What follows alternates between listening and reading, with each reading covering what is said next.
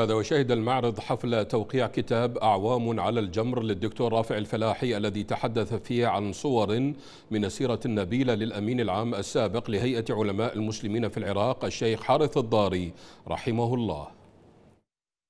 هذا كتاب أعوام على الجمر اللي هو هذا الكتاب اللي هو بعض سيرة وبعض ذكريات للشيخ الدكتور حارث الضاري الأمين العام السابق لهيئة علماء المسلمين. رجل يعني يعتبر رمزا من رموز العراق آه، في تاريخ العراق الوطني والسياسي. هو سليل عائلة مجاهدة وطنية كان جده يعني والكل يعرف تاريخه.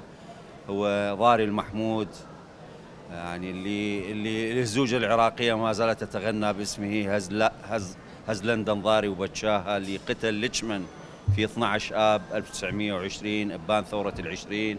وكان له دور كبير في مقارعة الاحتلال البريطاني آه، للعراق في بداية احتلال البريطاني للعراق. حارث الضاري الشيخ الدكتور الأستاذ الدكتور حارث الضاري. يعني سليل هذه العائلة استل منها كل هذا المجد وحافظ عليه. وكان عنوانا من عناوين مقاومة العراقي للاحتلال الأمريكي فيما بعد.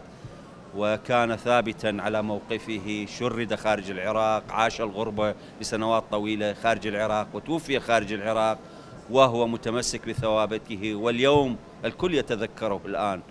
الكل يتذكر تلك الثوابت الوطنية التي أكد عليها وكان مخلصا لها وكان مدرسة في الوطنية الحقيقة. ونحن جميعا تلاميذه الحقيقة. هذه المدرسة الكبيرة كان جبلا يعتصم به في أوقات المحن. وما زلنا نعتصم به الحقيقة. آه، نقف على هذا الجبل نلوذ به من هذا المستنقع الآسن الذي يعيش به أبناء العراق مع الأسف الشديد وبلدنا العراق. ظل متمسكا كان ينتقد العملية السياسية ويقول إنها باطلة وباطلة وغير شرعية وستأتي للعراق بكل ما هو سيء وفعلا تحقق كل ذلك منذ عام 2003 لحد لحد وفاته ولحد الآن. هذه أقوال الحقيقية وحتى من كانوا يعادونه يعترفون بحقيقة ما قال وبصدق نواياه.